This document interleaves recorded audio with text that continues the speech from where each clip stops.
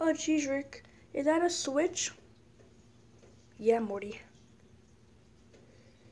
And we must never touch it. Why? Because it's called the alternate switch, Morty. The alternate switch came from many dimensions, Morty.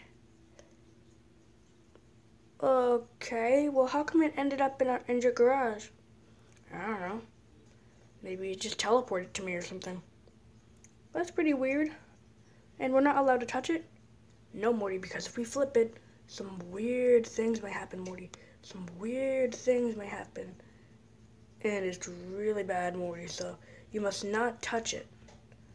Oh, jeez. Yeah, Morty, I know. So if we ever flip it, something bad may happen, Morty.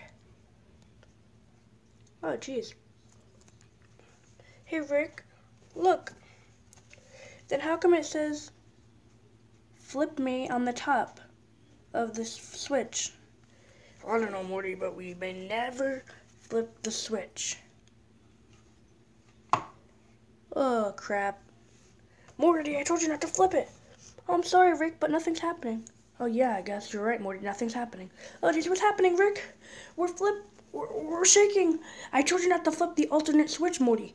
Now we're going out of control. Oh, geez, Rick.